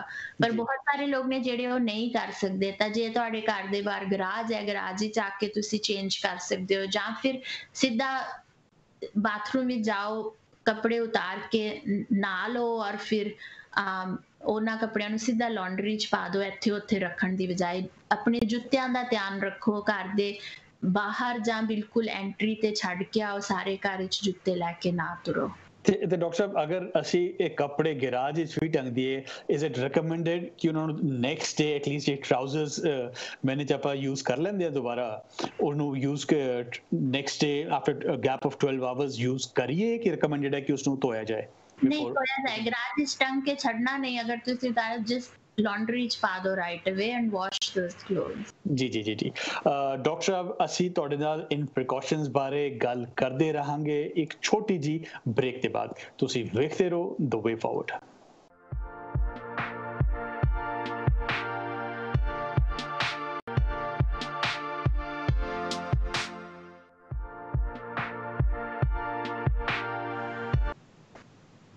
ਵੇ ਫਾਰਵਰਡ ਇਸ ਤੁਹਾਡਾ ਫਿਰ ਤੋਂ ਸਵਾਗਤ ਹੈ। ਮੈਂ ਤੁਹਾਡਾ ਹੋਸਟ ਹਰਜੋਤ ਸਿੰਘ। ਅੱਜ ਅਸੀਂ ਗੱਲ ਕਰ ਰਹੇ ਹਾਂ family practitioner board certified doctor Jasneet ਨਾਲ। ਇਸ ਕਰੋਨਾ ਵਾਇਰਸ ਦੀ ਸਿਚੁਏਸ਼ਨ ਨੂੰ ਲੈ ਕੇ ਹੁਣ ਜਿਹੜੀ ਮਾਰਕੀਟਸ ਖੁੱਲਦੀ ਪਈਆਂ ਹਨ ਲੋਕ ਵਾਪਸ ਆਪਣੇ ਕੰਮਾਂ ਵਿੱਚ ਆ ਰਹੇ ਨੇ ਲੋਕ ਸੋਸਾਇਟੀ ਵਿੱਚ ਬਾਹਰ ਨਿਕਲ ਰਹੇ ਘਰੋਂ, ਤੇ ਕੀ ਪ੍ਰੀਕਾਸ਼ਨਸ ਸਾਨੂੰ ਲੈਣੇ ਚਾਹੀਦੇ ਇਸ ਸਿਚੁਏਸ਼ਨ ਵਿੱਚ? ਡਾਕਟਰ ਸਾਹਿਬ, ਇੱਕ ਜਿਹੜੀ ਚੀਜ਼ ਸਾਰੇ ਲੋਕਾਂ ਨੇ ਬਹੁਤ ਮਿਸ ਕੀਤੀ ਹੈ ਪਿਛਲੇ 2 ਮਹੀਨਿਆਂ ਵਿੱਚ, ਉਹ ਹੈਗਾ ਰੈਸਟੋਰੈਂਟਸ ਬਾਹਰ ਖਾਣਾ ਖਾਣਾ। ਤੇ ਕਿਆ is it advisable to go to restaurants now ਉੱਥੇ ਜਾਣਾ, ਉੱਥੇ ਦਾ ਖਾਣਾ ਖਾਣਾ, ਔਰ ਜਾਂ ਇਵਨ ਜਿਹੜੇ ਟੇਕ ਆਊਟਸ ਹੈਗੇ, ਉਹ ਲੈਣਾ, ਕਿਆ ਇਹ ਐਡਵਾਈਜ਼ੇਬਲ ਹੈਗਾ? So um I guess depending on ਤੁਸੀਂ ਕਿੱਥੇ ਰਹਿੰਦੇ ਹੋ, ਜਿੱਦਾਂ ਅਸੀਂ ਜਿੱਥੇ ਹੈਗੇ ਨਿਊ ਜਰਸੀ ਚ ਰੈਸਟੋਰੈਂਟ ਐਦਾਂ ਖੁੱਲੇ ਨਹੀਂ ਕਿ ਤੁਸੀਂ ਉੱਥੇ ਜਾ ਕੇ ਖਾ ਸਕੋ। ਵੈਸੇ ਵੀ ਜਿਹੜੀ ਵੀ ਇਨਡੋਰ ਪਲੇਸਿਸ ਨੇ, ਕੋਈ ਵੀ ਪਬਲਿਕ ਪਲੇਸਿਸ ਮੈਂ ਕਹਾਂਗੀ ਕਿ ਰਾਈਟ ਨਾਓ ਜਿੱਥੇ ਸਿਚੁਏਸ਼ਨ ਹੈ ਪ੍ਰੋਬੇਬਲੀ ਨਾਟ ਸੇਫ ਕਿ ਤੁਸੀਂ ਇਨਡੋਰ ਜਗਾਵਾਂ ਤੇ ਪਬਲਿਕ ਪਲੇਸਿਸ ਤੇ ਇਕੱਠੇ ਹੋਵੋ ਜਾਂ ਹੋਰ ਲੋਕਾਂ ਨਾਲ ਮਿਲੋ ਕਿਉਂਕਿ ਰੈਸਟੋਰੈਂਟ ਜਾਓਗੇ 10 ਤਰ੍ਹਾਂ ਦੇ ਲੋਕ ਉੱਥੇ ਹੋਣਗੇ ਵੇਟਰਸ ਵੀ ਹੋਣਗੇ ਯੂ ਤੁਸੀਂ ਕੰਟੈਕਟ ਵਿੱਚ ਦੂਜੇ ਲੋਕਾਂ ਦੇ ਆਂਦੇ ਹੋ। ਜੀ। ਜਿੱਥੇ ਤੱਕ ਖਾਣ ਦੇ ਸਵਾਲ ਹੈ ਤਾਂ ਖਾਣੇ ਦੇ ਥਰੂ ਕੋਵਿਡ ਦੀ ਟ੍ਰਾਂਸਮਿਸ਼ਨ ਦਾ ਕੋਈ ਐਵੀਡੈਂਸ ਨਹੀਂ ਹੈ। ਤਾਂ डॉक्टर खाना सेफ है पर mostly take out doctor does that mean ਕਿ ਅਗਰ ਅਸੀਂ ਇੱਕ ਟੇਕ ਆਊਟ ਆਰਡਰ ਕਰਦੇ ਆ ਅਸੀਂ ਪਿਕ ਕਰਦੇ ਆ ਔਰ ਉਸ ਨੂੰ ਜਿਸ ਨੇ ਪੈਕ ਕੀਤਾ ਹੈ ਜਾਂ ਜਿਸ ਕੁੱਕ ਨੇ ਬਣਾਇਆ ਹੈ ਅਗਰ ਉਹ ਕੋਵਿਡ ਤੋਂ ਜਾਂ ਕਰੋਨਾ ਵਾਇਰਸ ਤੋਂ ਇਨਫੈਕਟਡ ਵੀ ਹੈਗਾ ਤਦ ਵੀ ਉਹ ਉਸ ਖਾਣੇ 'ਚ ਕੈਰੀ ਨਹੀਂ ਹੋਏਗਾ ਡਿਪੈਂਡ ਕਰਦਾ ਹੈ ਅਗੇਨ ਕਿ ਕੀ ਪ੍ਰੀਕਾਸ਼ਨਸ ਲਈਆਂ ਜਾ ਰਹੀਆਂ। So before you take out food ਤੁਹਾਨੂੰ ਇਹ ਚੈੱਕ ਕਰਨਾ ਜ਼ਰੂਰੀ ਹੈ ਕਿ ਜਿਹੜੀ ਜਗ੍ਹਾ ਤੋਂ ਤੁਸੀਂ ਖਾਣਾ ਮੰਗਾ ਰਹੇ ਹੋ ਕੀ ਉੱਥੇ ਸਾਰੀਆਂ ਪ੍ਰੀਕਾਸ਼ਨਸ ਲਈਆਂ ਜਾ ਰਹੀਆਂ ਨੇ? ਉੱਥੋਂ ਦੇ ਕੁੱਕ ਖਾਣਾ ਪੈਕ ਕਰਨ ਵਾਲੇ ਬਣਾਉਣ ਵਾਲੇ ਸਾਫ਼ ਕਰਨ ਵਾਲੇ ਮਾਸਕ ਪਾ ਰਹੇ ਨੇ ਗਲਵਸ ਪਾ ਰਹੇ ਨੇ ਉਹ ਰੈਗੂਲੇਸ਼ਨਸ ਕਿੰਨੀ ਚੰਗੀ ਤਰ੍ਹਾਂ ਅਪਲਾਈ ਕੀਤੀਆਂ ਜਾ ਰਹੀਆਂ ਨੇ। ਜੀ ਜੀ ਜੀ ਜੀ ਜੀ। ਜੀ। ਡਾਕਟਰ ਸਾਹਿਬ ਇੱਕ ਜਿਹੜੀ ਇਹ ਚੀਜ਼ ਦੇਖੀ ਗਈ ਹੈ ਇਸ ਦੇ ਵਿੱਚ ਇੱਕ ਬੜੇ ਡਿਸਪ੍ਰੋਪੋਰਸ਼ਨੇਟ ਲੈਵਲ ਨਾਲ ਲੋਕਾਂ ਦਾ ਰਿਐਕਸ਼ਨ ਹੋਇਆ ਹੈ the way they their bodies have reacted to this this virus we have seen ਕਈ ਲੋਕਾਂ ਨੇ ਆਪਣੀ ਜਾਨਾਂ ਗਵਾਈਆਂ ਕਈ ਅਸੀਂ ਦੇਖਿਆ ਕਿ ਕਈ ਲੋਕਾਂ ਨੂੰ ਕੋਈ ਜ਼ਿਆਦਾ ਸੀਰੀਅਸ ਇਫੈਕਟ ਬਿਲਕੁਲ ਹੀ ਨਹੀਂ ਹੋਇਆ ਉਹ ਆਪਣੇ ਕੰਮਾਂ ਤੇ ਵੀ ਜਾਂਦੇ ਰਹੇ ਦੋ ਦਿਨਾਂ ਨੂੰ ਬੜਾ ਹਲਕਾ ਜਿਹਾ ਬੁਖਾਰ ਫੀਲ ਹੋਇਆ and on the third day they were fine ਇਹ ਇਹ ਕੀ ਵਜ੍ਹਾ ਹੈ ਇਹ ਡਿਫਰੈਂਟ ਕਿਉਂ ਬੋਡੀਜ਼ ਨੇ ਰਿਐਕਟ ਕੀਤਾ ਹੈ ਇਸ ਵਾਇਰਸ ਨੂੰ ਜਿਵੇਂ ਕਿ ਹਰ ਬਿਮਾਰੀ ਹੁੰਦੀ ਹੈ ਹਰ ਬਿਮਾਰੀ ਦੇ ਕੁਝ ਸਿੰਪਟਮਸ ਹੁੰਦੇ ਨੇ ਔਰ ਕੁਝ ਪ੍ਰੋਸੈਸਸ ਹੁੰਦੇ ਨੇ ਕਿ ਉਹ ਬਾਡੀ ਨੂੰ ਕਿਸ ਤਰ੍ਹਾਂ ਅਫੈਕਟ ਕਰਦੀ ਹੈ ਬਟ ਉਸ ਤੋਂ ਇਲਾਵਾ ਜਿਹੜੇ ਫੈਕਟਰ ਹੁੰਦੇ ਨੇ ਕਿ ਤੁਹਾਡੀ ਬਾਡੀ ਕਿਸ ਤਰ੍ਹਾਂ ਦੀ ਹੈ ਉਹਦੇ ਵਿੱਚ ਪਹਿਲਾਂ ਤੋਂ ਕਿਹੜੀਆਂ ਬਿਮਾਰੀਆਂ ਨੇ ਕਿ ਉਹ ਪੂਰੀ ਤਰ੍ਹਾਂ ਸਿਹਤਮੰਦ ਹੈ ਉਹਦਾ ਵੀ ਬਹੁਤ ਫ਼ਰਕ ਪੈਂਦਾ ਹੈ ਕਿ ਉਹ ਬਿਮਾਰੀ ਤੁਹਾਨੂੰ ਕਿਸ ਹੱਦ ਤੱਕ ਅਫੈਕਟ ਕਰੇਗੀ। ਤਾਂ ਇਹ ਜਿਹੜਾ ਡਿਫਰੈਂਸ ਹੈ ਇਹ ਜਿਹੜੇ ਕਿ ਹਾਈ ਰਿਸਕ ਪੋਪੂਲੇਸ਼ਨਸ ਨੇ ਉਹਨਾਂ ਵਿੱਚ ਕਾਫੀ ਸਾਰੇ ਲੋਕ ਜ਼ਿਆਦਾ ਬਿਮਾਰ ਹੋ ਰਹੇ ਨੇ ਹਸਪਤਾਲਾਂ 'ਚ ਪਹੁੰਚ ਰਹੇ ਨੇ ਤੇ ਬਹੁਤ ਸਾਰੇ ਦੂਸਰੇ ਲੋਕ ਜਿਨ੍ਹਾਂ ਨੂੰ ਜਿਹੜੇ ਕਿ ਵੈਸੇ ਸਿਹਤਮੰਦ ਨੇ ਮੋਸਟ ਆਫ ਦੋਸ ਪੀਪਲ ਉਹ ਜਲਦੀ ਰਿਕਵਰ ਕਰ ਰਹੇ ਨੇ। ਡਾਕਟਰ ਸਾਹਿਬ ਇਹ ਬੜਾ ਇੰਪੋਰਟੈਂਟ ਹੈ। ਤੁਸੀਂ ਪਲੀਜ਼ ਸਾਡੇ ਵਾਸਤੇ ਸਪੈਸੀਫਾਈ ਕਰੋ ਕਿ ਹਾਈ ਰਿਸਕ ਜਿਹੜੇ ਲੋਕ ਜਿਹਨਾਂ ਨੂੰ ਆਪਾਂ ਕਹਿੰਦੇ ਆ ਜਿਹਨਾਂ ਨੂੰ ਵਲਨਰੇਬਲ ਲੋਕ ਜ਼ਿਆਦਾ ਕਿਹਾ ਜਾ ਰਿਹਾ ਹੈ ਇਹ ਕੌਣ ਕਿਸ ਕੈਟਾਗਰੀ ਦੇ ਲੋਕ ਜ਼ਿਆਦਾ ਰਿਸਕ ਤੇ ਇਸ ਬਿਮਾਰੀ ਨਾਲ? ਹਾਂਜੀ ਸੋ ਇਹਦੇ ਵਿੱਚ ਬਹੁਤ ਸਾਰੀਆਂ ਕੈਟਾਗਰੀਜ਼ ਦੇ ਲੋਕ ਆ ਜਾਂਦੇ ਨੇ। ਸੋ ਸਭ ਤੋਂ ਇੰਪੋਰਟੈਂਟ ਜਿਹੜੇ 65 ਸਾਲ ਤੋਂ ਜ਼ਿਆਦਾ ਉਮਰ ਦੇ ਲੋਕ ਉਹ ਹਾਈ ਰਿਸਕ ਪੋਪੂਲੇਸ਼ਨ ਵਿੱਚ ਆਉਂਦੇ ਨੇ ਜਿਹੜੇ ਲੋਕ ਲੌਂਗ ਟਰਮ ਫੈਸਿਲਿਟੀਜ਼ ਜਾਂ ਨਰਸਿੰਗ ਹੋਮ ਵਿੱਚ ਰਹਿੰਦੇ ਨੇ ਉਹ ਕਿਉਂਕਿ ਉੱਥੇ ਜ਼ਿਆਦਾ ਫੈਲਾ ਹੋ ਸਕਦਾ ਹੈ ਉਹ ਹਾਈ ਰਿਸਕ ਪੋਪੂਲੇਸ਼ਨ ਵਿੱਚ ਆ ਜਾਂਦੇ ਨੇ। ਬਾਕੀ ਜਿਹੜੇ ਯੰਗ ਵੀ ਹੋਣ ਕਿਸੇ ਵੀ ਉਮਰ ਦੇ ਵਿਅਕਤੀ ਹੋਣ ਪਰ ਉਹਨਾਂ ਨੂੰ ਮੈਡੀਕਲ ਪ੍ਰੋਬਲਮਸ ਨੇ ਜਿਵੇਂ ਕਿ ਫੇਫੜਿਆਂ ਦੀ ਬਿਮਾਰੀ ਜਾਂ ਸੀਵੀਅਰ ਐਸਥਮਾ ਜਾਂ ਕੋਈ ਦਿਲ ਦੀ ਬਿਮਾਰੀ ਜਾਂ ਜਿਗਰ ਦੀ ਬਿਮਾਰੀ ਲਿਵਰ ਡਿਜ਼ੀਜ਼ ਜਾਂ ਫਿਰ ਡਾਇਬੀਟੀਜ਼ ਹਾਂਜੀ ਸ਼ੂਗਰ ਦੀ ਬਿਮਾਰੀ ਡਾਇਬੀਟੀਜ਼ ਕਿਡਨੀ ਪ੍ਰੋਬਲਮਸ ਔਰ ਡਾਇਲਿਸਿਸ ਤੇ ਹੋਣ ਜੀ। ਜਾਂ ਫਿਰ ਸਰਟਨ ਇਮਿਊਨੋ ਕੰਪਰੋਮਾਈਜ਼ਿੰਗ ਕੰਡੀਸ਼ਨਸ ਜਿਨ੍ਹਾਂ ਨੂੰ ਅਸੀਂ ਕਹਿੰਦੇ ਆ ਜਿਵੇਂ ਕਿ ਕੈਂਸਰ ਹੋ ਗਿਆ ਜਾਂ ਜਿਹੜੇ ਲੋਕ ਸਿਗਰਟ ਪੀਂਦੇ ਨੇ ਜਾਂ ਹੋਰ ਡਰੱਗਸ ਲੈਂਦੇ ਹੋਣ ਬੋਨ ਮੈਰੋ ਜਾਂ ਅੰਗ ਟ੍ਰਾਂਸਪਲਾਂਟ ਹੋਇਆ ਹੋਏ ਐਚ ਆਈ ਵੀ ਜਾਂ ਏਡਸ ਦੀ ਬਿਮਾਰੀ ਹੋਏ ਜਿਨ੍ਹਾਂ ਨੂੰ ਕੋਈ, ਕਈ ਲੋਕ ਸਰਟਨ ਦਵਾਈਆਂ ਤੇ ਹੁੰਦੇ ਨੇ ਜਿਹੜੇ ਕਿ ਤੁਹਾਡੀ ਇਮਿਊਨਿਟੀ ਘਟਾਉਂਦੇ ਨੇ ਜਾਂ ਕਈ ਇਹੋ ਜਿਹੀਆਂ ਬਿਮਾਰੀਆਂ ਨੇ ਜੋ ਕਿ ਇਮਿਊਨਿਟੀ ਘਟਾਉਂਦੀਆਂ ਨੇ, ਉਹਨਾਂ ਨੂੰ ਜ਼ਿਆਦਾ ਅਸਰ ਹੋ ਸਕਦਾ ਹੈ। ਇਸ ਤੋਂ ਇਲਾਵਾ ਜਿਸ ਤਰ੍ਹਾਂ ਕਿ ਗਰਭ ਅਵਸਥਾ ਵਿੱਚ ਵੀ ਤੁਹਾਡਾ ਰਿਸਕ ਥੋੜਾ ਵੱਧ ਸਕਦਾ ਹੈ, ਜਿਹੜੇ ਲੋਕ ਬੇਕਾਰ ਹੋਣ, ਉਹਨਾਂ ਦਾ ਰਿਸਕ ਜ਼ਿਆਦਾ ਹੈ। ਜਿਹੜੇ ਲੋਕ ਨੂੰ ਡਿਮੈਂਸ਼ੀਆ ਹੋਏ ਜਾਂ ਭੁੱਲਣ ਦੀ ਬਿਮਾਰੀ, ਉਹ ਵੀ ਜ਼ਿਆਦਾ ਰਿਸਕ ਤੇ ਨੇ। ਤੇ minority populations um, can also be high risk.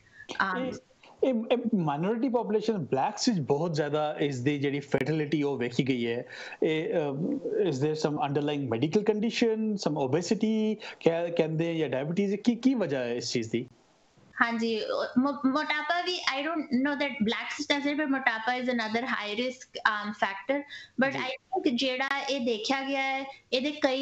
factors ਨੇ ਇੱਕ ਤਾਂ just being part of minority group itself becomes a risk factor. ਜਿਦਾ ਕਿ ਅਸੀਂ ਕਿਹਾ ਡਾਕਟਰ ਇਹ ਗੱਲ ਥੋੜੀ ਸਮਝਾਓਗੇ ਕਿਉਂ ਮਾਈਨੋਰਿਟੀਜ਼ ਸਿੱਖ ਹੁੰਦੀਆਂ ਜ਼ਿਆਦਾ ਸਿੱਖ ਨਹੀਂ because there's multiple issues right ਕਈ ਵਾਰ ਇਮੀਗ੍ਰੇਸ਼ਨ ਇਸ਼ੂਜ਼ ਹੁੰਦੇ ਨੇ ਐਕਸੈਸ ਟੂ ਹੈਲਥ ਕੇਅਰ ਘੱਟ ਹੁੰਦਾ ਹੈ ਕਈ ਲੋਕ ਹੋ ਸਕਦਾ ਹੈ ਉਹਨਾਂ ਕੋਲ ਪੇਪਰ ਨਾ ਹੋਣ ਉਹ ਜਾਣ ਤੋਂ ਡਰਦੇ ਨੇ ਕਈਆਂ ਕੋਲ ਇੰਸ਼ੋਰੈਂਸ ਨਹੀਂ ਹੁੰਦੀ ਉਹ ਤਾਂ ਨਹੀਂ ਜਾਂਦੇ ਉਹਨਾਂ ਕੋਲ ਉਨੀ ਵਧੀਆ ਸੁਵਿਧਾਵਾਂ ਨਹੀਂ ਹੁੰਦੀਆਂ ਜਿਹੜੀਆਂ ਕਿ ਦੂਜਿਆਂ ਕੋਲ ਹੋ ਸਕਦੀਆਂ ਨੇ ਦੂਜੀ ਹੈ ਅੰਡਰਲਾਈਂਗ ਜਨਰਲ ਬਿਮਾਰੀਆਂ ਵੀ ਜ਼ਿਆਦਾ ਹੁੰਦੀਆਂ ਨੇ ਕਿਉਂਕਿ ਮੇਬੀ ਓਨੀ ਹੈਲਥੀ ਹੈਬਿਟਸ ਦੀ ਨੌਲੇਜ ਨਹੀਂ ਹੁੰਦੀ ਜਾਂ ਅਗੇਨ ਫਾਈਨੈਂਸ਼ੀਅਲ ਰਿਸੋਰਸਸ ਕਰਕੇ ਐਕਸੈਸ ਨਹੀਂ ਹੁੰਦਾ ਚੀਜ਼ਾਂ ਦਾ ਉਹ ਆਪਣੀ ਸਿਹਤ ਵੱਲ ਧਿਆਨ ਨਹੀਂ ਦੇ ਪਾਉਂਦੇ ਤਾਂ ਉਹਨਾਂ ਵਿੱਚ ਅੰਡਰਲਾਈਂਗ ਬਿਮਾਰੀਆਂ ਜਿੱਦਾਂ ਕਿ ਮੋਟਾਪਾ ਜਾਂ ਬਲੱਡ ਪ੍ਰੈਸ਼ਰ ਦੀ ਜਾਂ ਡਾਇਬੀਟੀਜ਼ ਦੀ ਬਿਮਾਰੀ ਜ਼ਿਆਦਾ ਦੇਖੀਆਂ ਜਾਣ ਤਾਂ ਉਹ ਵੀ ਇਫੈਕਟ ਕਰ ਸਕਦਾ ਹੈ।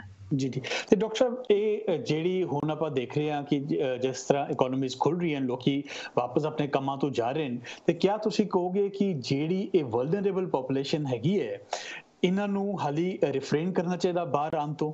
They should stay at home ਹਾਂਜੀ definitely if at if at all possible they should stay at home society ਖੁੱਲ ਰਹੀ ਹੈ ਉਹਦੇ ਕਈ ਡਿਫਰੈਂਟ ਰੀਜ਼ਨਸ ਨੇ ਸਮ ਪੋਲਿਟੀਕਲ ਨੇ ਸਮ ਇਕਨੋਮਿਕ ਨੇ ਪਰ ਇਹਦਾ ਮਤਲਬ ਸਾਨੂੰ ਇਹ ਨਹੀਂ ਲੈਣਾ ਚਾਹੀਦਾ ਕਿ ਬਿਮਾਰੀ ਖਤਮ ਹੋ ਗਈ ਹੈ ਜਾਂ ਸਾਡਾ ਰਿਸਕ ਘਟ ਗਿਆ ਹੈ ਜਾਂ ਖਤਮ ਹੋ ਗਿਆ ਹੈ। ਹਰ ਇੰਡੀਵਿਜੂਅਲ ਨੂੰ ਆਪਣੇ ਰਿਸਕ ਫੈਕਟਰਸ ਦੇ ਹਿਸਾਬ ਨਾਲ ਡਿਸੀਜਨ ਲੈਣਾ ਚਾਹੀਦਾ ਹੈ ਅਗਰ ਲੋੜ ਹੋਵੇ ਤਾਂ ਆਪਣੇ ਹੈਲਥ ਪ੍ਰੈਕਟੀਸ਼ਨਰ ਜਾਂ ਡਾਕਟਰ ਨਾਲ ਕੰਸਲਟ ਕਰਨਾ ਚਾਹੀਦਾ ਹੈ ਕਿ ਉਹਨਾਂ ਦੀ ਕੀ ਆਪਸ਼ਨਸ ਅਵੇਲੇਬਲ ਨੇ ਜਾਂ ਕੀ ਸੇਫਟੀ ਪ੍ਰੀਕਾਸ਼ਨਸ ਐਕਸਟਰਾ ਲੈਣੀਆਂ ਚਾਹੀਦੀਆਂ ਡਾਕਟਰ ਸਾਹਿਬ ਇੱਕ ਚੀਜ਼ ਹੋਰ ਦੇਖੀ ਗਈ ਹੈ ਕਿ ਲੋਕੀ ਡਾਕਟਰ ਕੋਲ ਜਾਣ ਤੋਂ ਬੜਾ ਘਬਰਾ ਰਹੇ ਨੇ even for uh, you know other regular ailments or regular uh, treatment purposes or, or diagnostic purposes kya ye dar wajib hai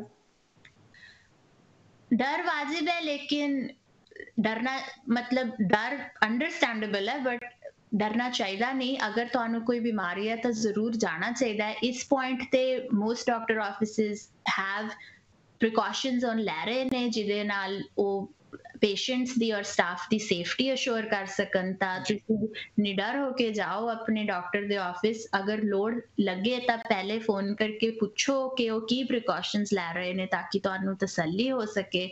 ਪਰ ਕੋਵਿਡ ਤੋਂ ਬਚਣ ਦੇ ਵਿੱਚ ਇਹ ਬਹੁਤ ਵੱਡੀ ਚੀਜ਼ ਹੈ ਕਿ ਤੁਸੀਂ ਤੁਹਾਨੂੰ ਜੋ ਪਹਿਲਾਂ ਤੋਂ ਬਿਮਾਰੀਆਂ ਨੇ ਉਹ ਕੰਟਰੋਲ ਵਿੱਚ ਰਹਿਣ ਤਾਂ ਕਿ ਤੁਹਾਡੀ ਬਾਡੀ ਨੂੰ ਅਗਰ ਕੋਵਿਡ ਦਾ ਐਕਸਪੋਜ਼ਰ ਹੋਵੇ ਵੀ ਤਾਂ ਉਹ ਉਸ ਨੂੰ ਸਹਾਰ ਸਕੇ। ਜੇ ਤੁਹਾਡੀਆਂ ਦੂਜੀਆਂ ਬਿਮਾਰੀਆਂ ਕੰਟਰੋਲ ਵਿੱਚ ਨਹੀਂ ਹੋਣਗੀਆਂ, ਤਾਂ ਤੁਹਾਡਾ ਰਿਸਕ ਹੋਰ ਵੱਧ ਜਾਏਗਾ। ਜੀ ਜੀ ਜੀ ਜੀ ਜੀ। ਡਾਕਟਰ ਸਾਹਿਬ, ਇਹ ਤੁਸੀਂ ਬੜੀ ਇੰਪੋਰਟੈਂਟ ਗੱਲ ਦੱਸੀ। ਡਾਕਟਰ ਸਾਹਿਬ ਜਿੱਥੇ ਇਕਨੋਮੀਜ਼ ਖੁੱਲ ਰਹੀ ਹੈ ਲੋਕੀ ਵਾਪਸ ਕੰਮਾਂ ਤੇ ਜਾ ਰਹੇ ਨੇ ਉੱਥੇ ਹੀ ਪਾਰਟਿਕੂਲਰਲੀ ਸਾਡੀ ਕਮਿਊਨਿਟੀ ਵਿੱਚ ਲੋਕੀ ਬਹੁਤ ਗੁਰੂ ਘਰ ਨਾਲ ਜੁੜੇ ਦੇ ਹੁੰਦੇ ਨੇ ਔਰ ਉਹ ਗੁਰੂ ਘਰ ਵਿੱਚ ਵਾਪਸ ਜਾਣ ਨੂੰ ਬੜੇ ਉਤਸੁਕ ਹਨ, ਔਰ ਵਾਪਸ ਜਾਣ ਦੀ ਤਿਆਰੀ ਚ ਉੱਥੇ ਜਾਣ ਵਿੱਚ ਸਾਨੂੰ ਕੀ ਪ੍ਰੀਕਾਸ਼ਨਸ ਲੈਣੀ ਚਾਹੀਦੀਆਂ ਔਰ ਗੁਰੂ ਘਰ ਕੀ ਪ੍ਰੀਕਾਸ਼ਨਸ ਲੈ ਰਹੇ ਨੇ ਇਸ ਬਾਰੇ ਅਸੀਂ ਤੁਹਾਡੇ ਨਾਲ ਗੱਲ ਕਰਾਂਗੇ ਇੱਕ ਛੋਟੀ ਜੀ ਬ੍ਰੇਕ ਦੇ ਬਾਅਦ। ਤੁਸੀਂ ਵੇਖਦੇ ਰਹੋ ਦ ਵੇ ਫਾਰਵਰਡ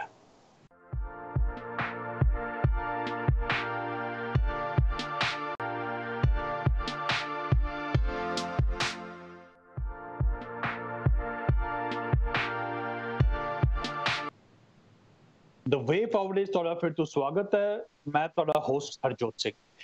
ਬ੍ਰੇਕ ਤੇ ਜਾਣ ਤੋਂ ਪਹਿਲੇ ਅਸੀਂ ਡਾਕਟਰ ਜਸਨੀਤ ਕੌਰ ਜੀ ਨਾਲ ਗੱਲ ਕਰ ਰਹੇ ਸੀਗੇ ਕਿ ਸਾਡੀ ਕਮਿਊਨਿਟੀ ਦੇ ਲੋਕ ਬੜੇ ਉਤਸੁਕ ਹਨ ਗੁਰੂ ਘਰ ਵਾਪਸ ਜਾਣ ਨੂੰ।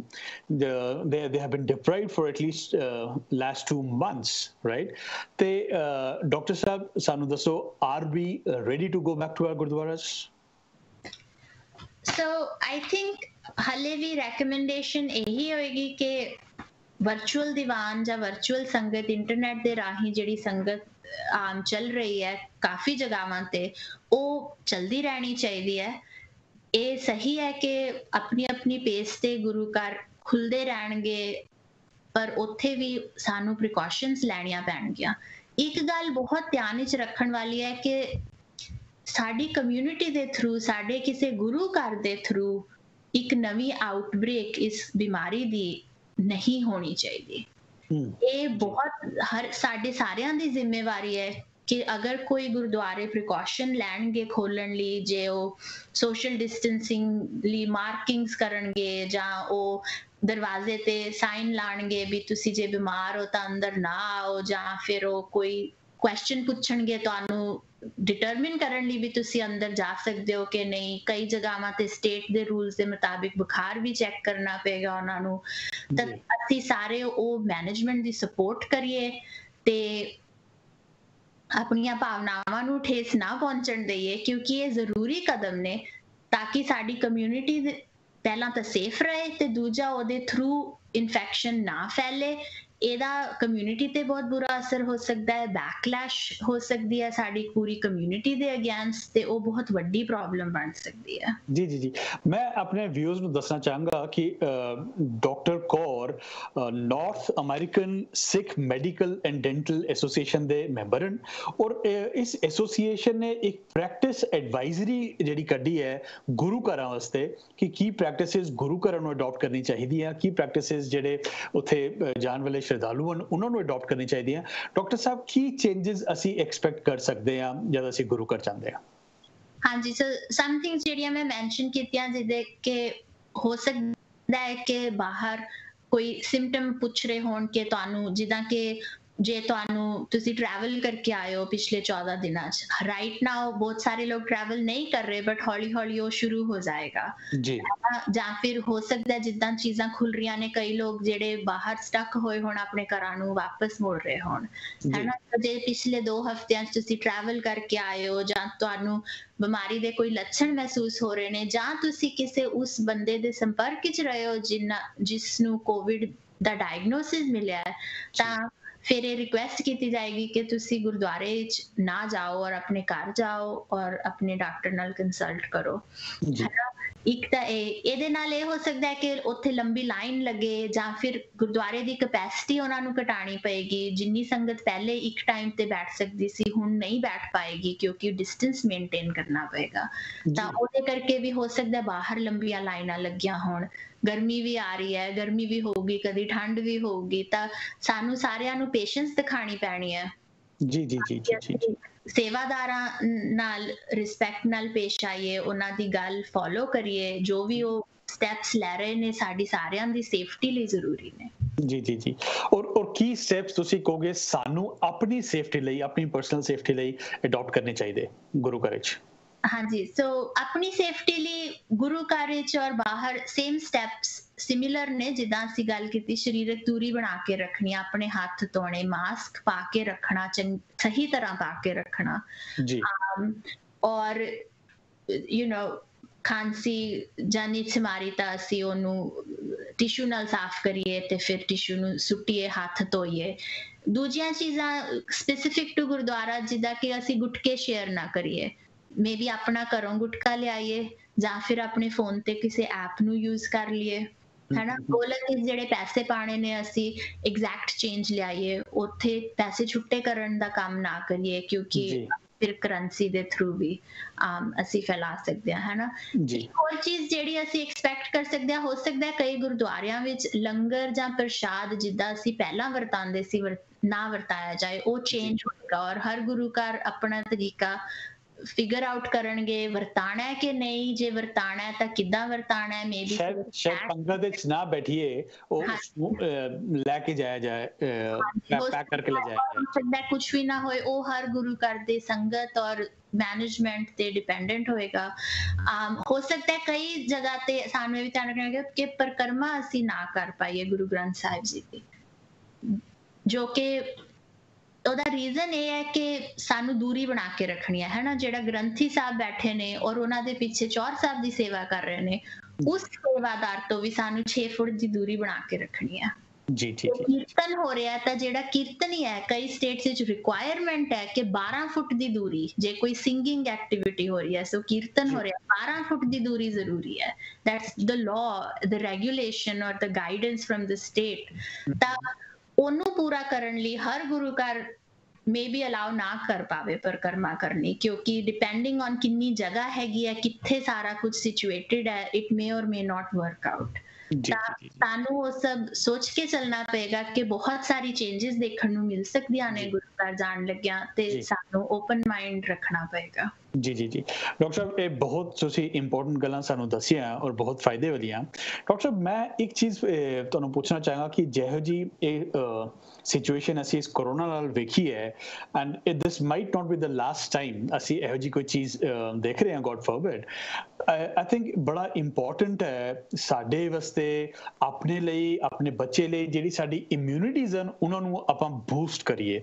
ਕੀ ਤਰੀਕੇ ਹੋ ਸਕਦੇ ਨੇ ਇਮਿਊਨਿਟੀ ਨੂੰ ਬੂਸਟ ਕਰਨ ਦੇ ਅਸੀਂ ਇਹ ਕਿਹਾ ਜਾਂਦਾ ਕਿ ਜਿਹੜੀ ਸਾਡੀ ਜਨਰੇਸ਼ਨ ਹੈ, ਉਹ ਹਿਊਮਨ ਹਿਸਟਰੀ ਵਿੱਚ ਸਭ ਤੋਂ ਜ਼ਿਆਦਾ ਇਨਡੋਰ ਰਹਿਣ ਵਾਲੀ ਜਨਰੇਸ਼ਨ ਹੈ। ਤੇ ਬਾਹਰ ਜਿਹੜੇ ਕੁਝ ਕੁਝ ਪੈਥੋਜਨਸ ਹੁੰਦੇ ਨੇ ਉਹਨਾਂ ਨਾਲ ਸਾਡਾ ਐਕਸਪੋਜ਼ਰ ਨਹੀਂ ਹੁੰਦਾ, ਜਿਸ ਨਾਲ ਸਾਡੀ ਇਮਿਊਨਿਟੀ ਜਿਹੜੀ ਹੈ, ਉਹ ਵੀਕ ਹੁੰਦੀ ਹੈ। ਸਾਨੂੰ ਤੁਸੀਂ ਦੱਸੋਗੇ ਕਿਵੇਂ ਆਪਾਂ ਆਪਣੀ ਜਿਹੜੀ ਇਮਿਊਨਿਟੀ ਉਸ ਨੂੰ ਸਟਰੋਂਗ ਕਰ ਸਕਦੇ ਹਾਂ?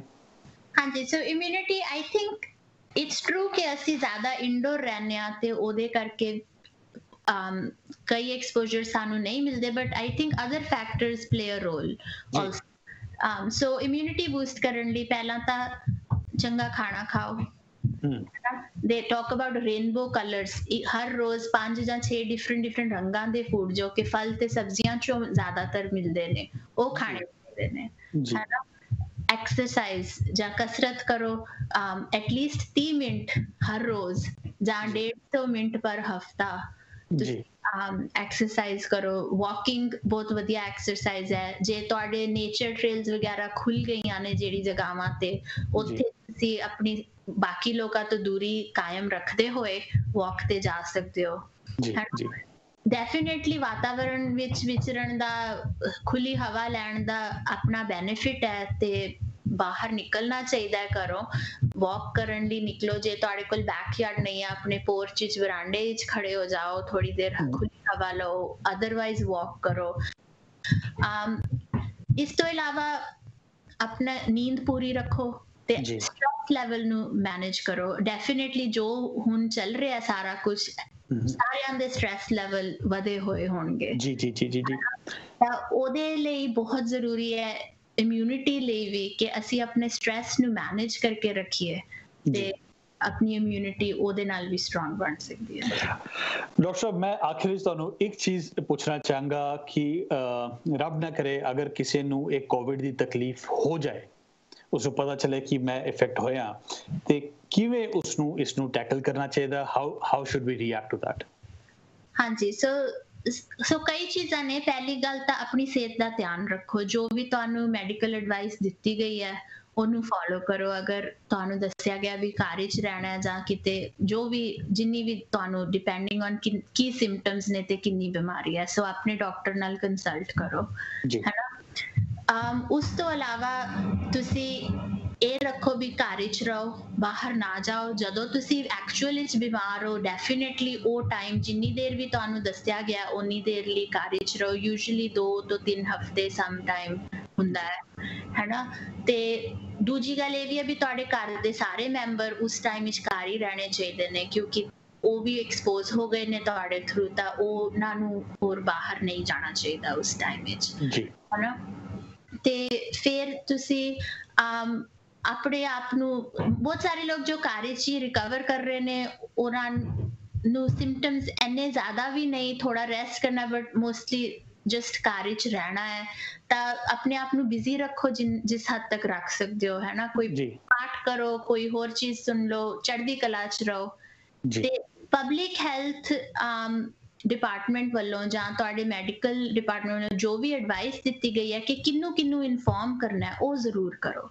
ਜੇ ਉਹ ਤੁਹਾਨੂੰ ਦੱਸਿਆ ਗਿਆ ਕਿ ਪਿਛਲੇ ਜਿੰਨੇ ਵੀ ਦਿਨਾਂ ਵਿੱਚ ਤੁਸੀਂ ਕਿਸੇ ਦੇ ਕੰਟੈਕਟ ਵਿੱਚ ਆਏ ਹੋ ਕਈ ਸਟੇਟਸ ਵਿੱਚ ਤੁਹਾਨੂੰ ਦੱਸਿਆ ਜਾਏਗਾ ਕਿ ਅਗਰ ਤੁਸੀਂ ਪਬਲਿਕ ਪਲੇਸ ਤੇ ਗਏ ਹੋ ਜਿੱਦਾਂ ਗੁਰਦੁਆਰੇ ਵਿੱਚ ਸੀਗੇ ਪਿਛਲੇ 2 ਹਫ਼ਤਿਆਂ ਜਾਂ ਕਿਤੇ ਹੋਰ ਤਾਂ ਉਹ ਤੁਸੀਂ ਜ਼ਰੂਰ ਇਨਫੋਰਮੇਸ਼ਨ ਦਿਓ। ਸਾਡੀ ਕਮਿਊਨਿਟੀ 'ਚ ਇੱਕ ਬਹੁਤ ਵੱਡੀ ਪ੍ਰੋਬਲਮ ਹੈ ਕਿ ਅਸੀਂ ਬਿਮਾਰੀ ਛੁਪਾ ਕੇ ਰੱਖਣਾ ਚਾਹੁੰਦੇ ਆ ਕਿਸੇ ਨੂੰ ਦੱਸਣਾ ਨਹੀਂ ਚਾਹੁੰਦੇ ਵੀ ਸਾਨੂੰ ਇਹ ਬਿਮਾਰੀ ਹੈ ਪਰ ਇਸ। ਬਿਮਾਰੀ ਦਾ ਫੈਲਾਅ ਰੋਕਣ ਲਈ ਇਹ ਬਹੁਤ ਜ਼ਰੂਰੀ ਹੈ ਗੁਰਦੁਆਰੇ 'ਚ ਅਗਰ ਤੁਸੀਂ ਗਏ ਹੋ ਜਾਂ ਕਿਤੇ ਹੋਰ ਗਏ ਹੋ ਤੁਹਾਡਾ ਨਾਮ ਉਹ ਡਿਸਕਲੋਜ਼ ਨਹੀਂ ਕਰਨਗੇ ਉਹਨਾਂ ਨੂੰ ਲੋੜ ਨਹੀਂ ਹੈ ਉਹਨਾਂ ਨੂੰ ਜਸਟ ਇਹ ਇਨਫੋਰਮ ਕਰਨ ਦੀ ਲੋੜ ਹੈ ਕਿ ਇਸ ਟਾਈਮ ਤੇ ਇਸ ਦਿਨ ਕੋਈ ਬੰਦਾ ਸੀਗਾ ਜਿਹਨੂੰ ਡਾਇਗਨੋਸ ਹੋਇਆ ਤਾਂ ਉਸ ਟਾਈਮ ਸੰਗਤ ਆਈ ਜਾਂ ਲੋਕ ਆਏ ਉਹ ਡਾਕਟਰ ਸਾਹਿਬ ਇਹ ਇੱਕ ਬੜਾ ਇੰਪੋਰਟੈਂਟ ਇਸ਼ੂ ਹੈ। ਇਨ ਇਟਸੈਲਫ ਇਸ ਦਾ ਜਿਹੜਾ ਸਟ्रेस ਹੈ ਉਸ ਨਾਲ ਕਿਵੇਂ ਡੀਲ ਕਰਨਾ ਹੈ ਔਰ ਇੱਕ ਵਾਰ ਇਹ ਚੀਜ਼ ਹੋ ਜਾਏ ਤੇ ਕਿਆ ਇਮਿਊਨਿਟੀ ਡਿਵੈਲਪ ਹੋ ਜਾਂਦੀ ਹੈ ਹਮੇਸ਼ਾ ਲਈ